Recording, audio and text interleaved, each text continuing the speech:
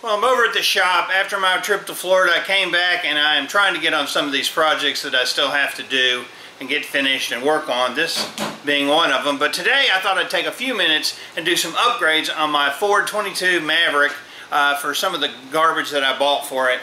Most of these upgrades are pretty simple, but one of them uh, was a little bit expensive and hard to get the part. So let's take a look at what we're going to do today on the Ford Maverick.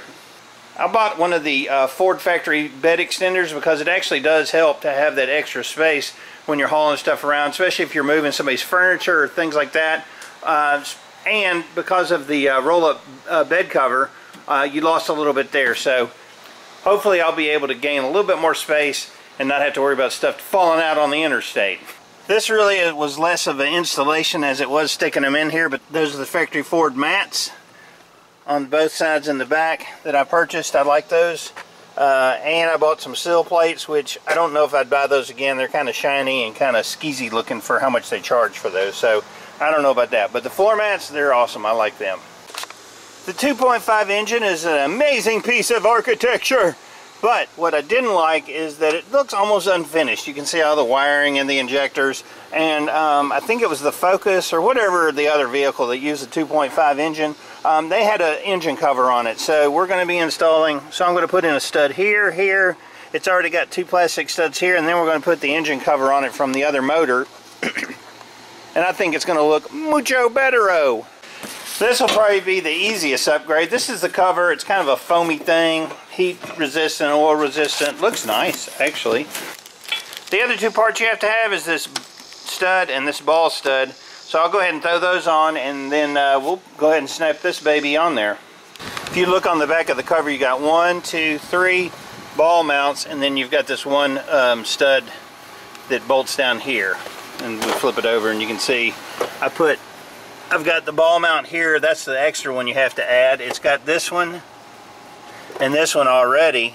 So let me see if I can get this slid on there. Kind of have to go around wiring hoses and everything.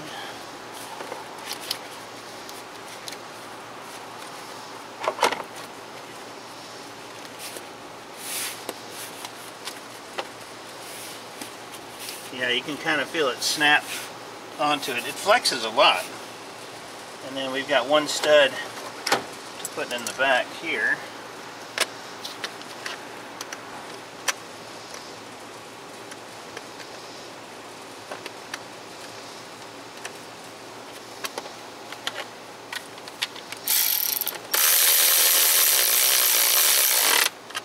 Alright, upgrade number one.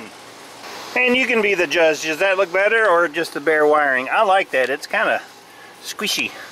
But you can still get to your oil. It's made for this motor. I'm sure to cut costs, I didn't put them on the Mavericks. I'll put the uh, price and everything and the part number down below of what I paid for it. But I think that just sets off the motor and looks much, much better than the raw motor.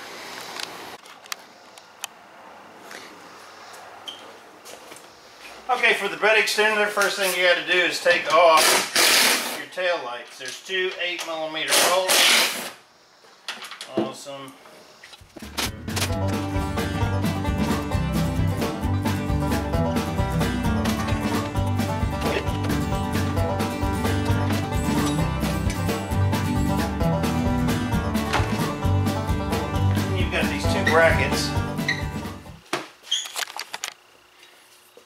Then two brackets that look like this.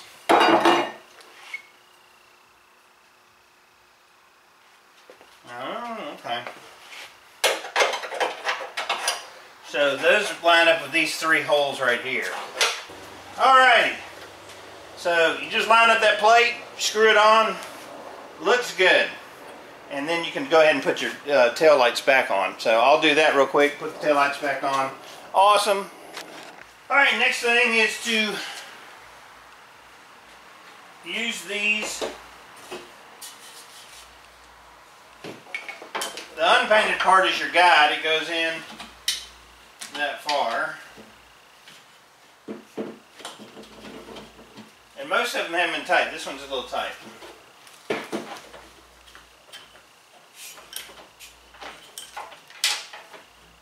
says you can use soapy water, whatever.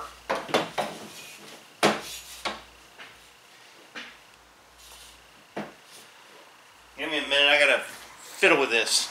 Alright, so I got it installed. I'm super happy with it. The hardest part was trying to get these uh, bars adjusted.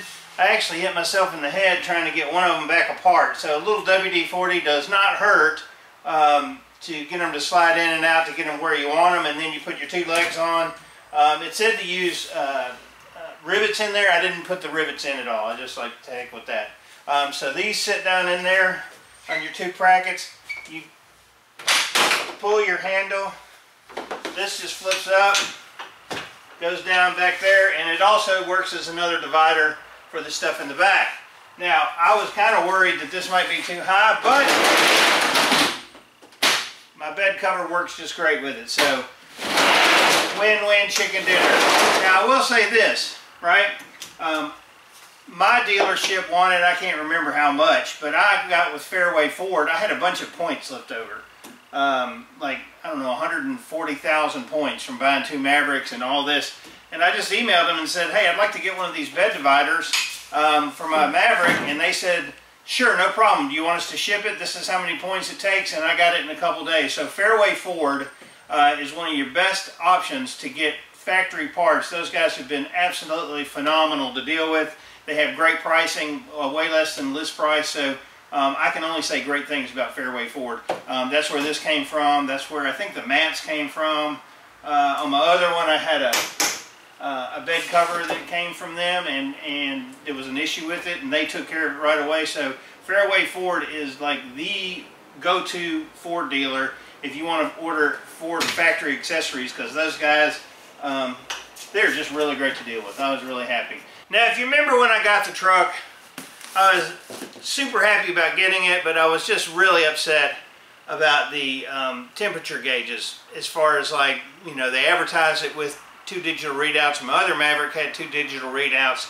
And every time I looked at it, I just kind of got mad. So every time I drive the truck and I got to adjust the heating and air, um, I kind of get a little pissed off. Now, I know that sounds dumb, but every time I look at it, I'm like, that's not what's supposed to be on there. For the most part, I'm super happy with the truck, but the one thing I was real unhappy with, and I say real unhappy, but, you know, whatever, um, the, the heat control knobs, they switch suppliers and they don't have a digital readout here, right, uh, any longer. So you have to turn the knob to see what the temperature is, which should be okay. Now, if you are, here we go, if you look on the main screen, it has the temperature setting up in the top corner. See it on the left, 6872. But I don't use this screen uh, at all. I use Android Auto.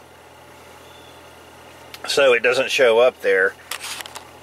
So I don't know what the temperature's set at. Now, you could say, you know, if you're hot, turn it down. If you're cold, turn it up. But um, I really did like having the readout there. And that's how they advertise the truck. And then they send this. So it's kind of like a bait and switch on that.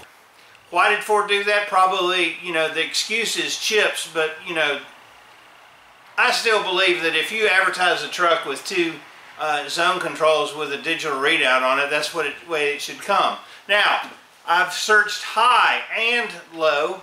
The only way to find that part with the dual readouts is to get a Lariat that was built before, I think May, something like that.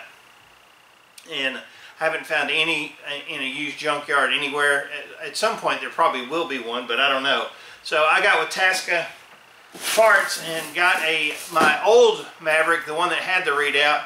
I gave them the VIN number for that and I said, I need the heating and air control module. How much is that? And they said, oh, that's about 350 bucks, something like that, 300, I don't remember. Yeah, I think it was 350 bucks. And I said, well, you know what? Ship it. And they said, well, there's only like three or four in the United States, so um, it'll take a few days, but we'll get it shipped to you. And they did. And here's the box. Now, do I know what's in this box? I know it's a heating and control module, but I do not know is if it's the same one that's in this truck, which is the thermometer picture rip-off Ford garbage, or does it have the digital readouts? I also don't know if it'll work if it's plugged in, but that's that's step two, right? Let's get in the truck, open it up, and see what we got. And if this is indeed the right part to have digital readouts on it, and then I'll just be super happy. So here's the janky heating controls that came with it. It has a little thermometer here and thermometer there, and that is not what my other Maverick had. Uh, I'm going to see if I can pry this off here and see what we got. I'm, I'm not sure exactly how it comes apart. But it looks like it comes apart pretty easily. So, so I'm going to unplug these and we're going to open up what's in that box and see if it is the right part or, or do I have to try to return it. Alright, I got it unplugged. It wasn't really that difficult. Looks like there's a scrap if dropped it says. Ooh, I better not drop it. Um, I think there's a part number on it, but let's open up the new one and see if it's the right one. Jeez. It took about a week and a half, I think, maybe. Something like that.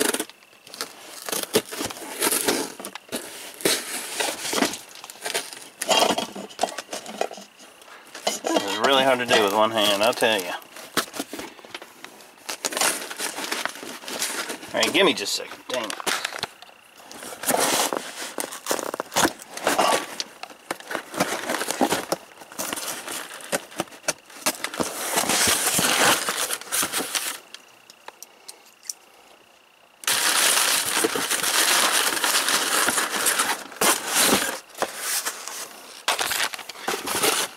Now it says something about here. Here's the part number. I'm going to put it down below as well. This is a control that was listed for my old one. It says something about core deposit. I don't know. I didn't pay a core deposit.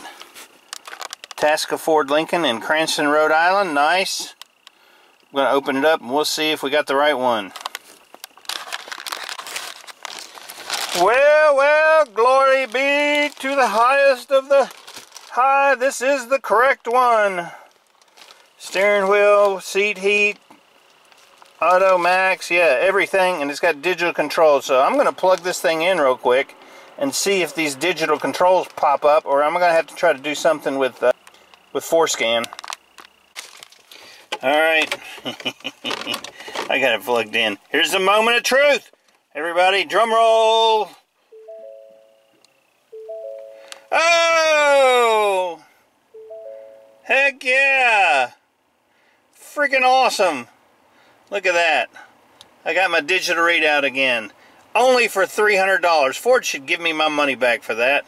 Um, I'm going to go ahead and get the old one taken out. It's got a couple of, it looks like 6 millimeter, 7 millimeter, something like that, bolts out, and we'll get her zipped back up. But man, I'm happy. Yeah, they do have completely different part numbers. This is the NZ6T, 18C, blah, blah, blah. And this is the NZ6Z, 19980B. So that's the part number you're looking for um, if you're looking for the ones with the remote, with the digital control. I'm just really happy about that. okay, I spoke too soon. Yes, the display actually does show temperature.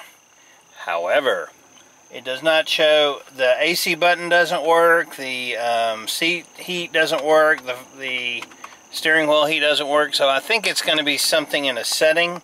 I'm going to try to hook up FORScan and see if I can figure out where it's at. Uh, if you go to the Ford uh, Motorcraft website and you put in your VIN, you can actually look up all the module configurations of what it came with from the factory for that particular VIN, which was really helpful for me since I was trying to change it to match that module. So after I installed the uh, climate control, the uh, seat heater didn't work, the steering wheel heater didn't work, um, the AC button didn't operate. So if you hit AC, nothing would happen. It wouldn't engage the thing. So what I had to do was go into FORScan.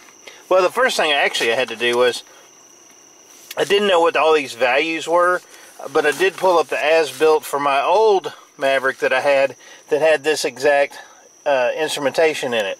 So I printed out the as-built, right, and that's going to be your 733s. Pulled up the HVAC module and force FORScan, and I went in and I changed all those to the other Maverick that I had, saved it, tried it, works like a champ.